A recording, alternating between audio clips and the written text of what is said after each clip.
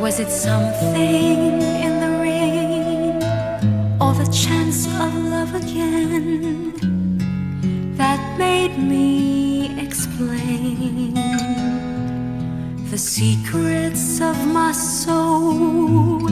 I guess I only needed someone to hold,